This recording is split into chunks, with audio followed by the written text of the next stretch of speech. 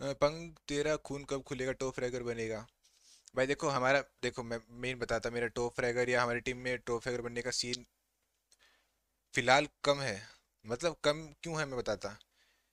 हम जैसे चार बंदे खेल रहे हैं डे वन किल्स वगैरह निकाल लेंगे टॉप फ्रैगर लिस्ट में आ जाएँगे स्टार्टिंग में डे वन में। तो डे वन में ऐसा सीन है कि हमारा ठीक ठाक चल जाते हैं किल्स वगैरह निकाल लेते पोजिशन भी आ जाती है मतलब एवरेज आता है।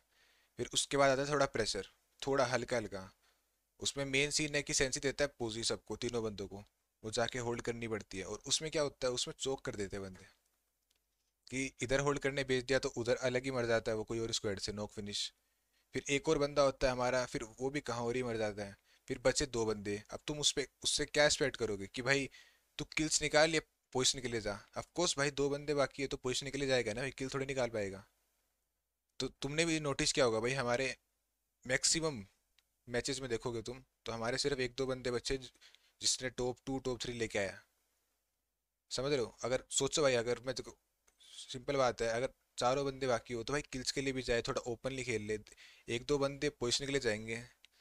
वही भाई माइंड गेम है ये। अब इसमें हवाबाजी तो करेंगे नहीं कि मैं ये कर लूँगा, मैं वो कर लूँगा। भाई देखो, सिंपल बात है स्किल्स की कमी किसी में नहीं है, कोई भी प्लेयर में नहीं है हमारे। वो तुमने, हवाबाजी तो क्या, तुमने तो देख रखा है भाई। मेरा गेम प्ले स्नैक्स का फियर्स का, भाई कम थोड़ी है भाई, हम तो असोल्टर हैं टीम्स के। मारने पे आते तो हम भी भाई एक एक स्क्वाड को क्लच करते वो करते बट हमारा मेन उसमें एम क्या है कि हमें पोजीशन चाहिए।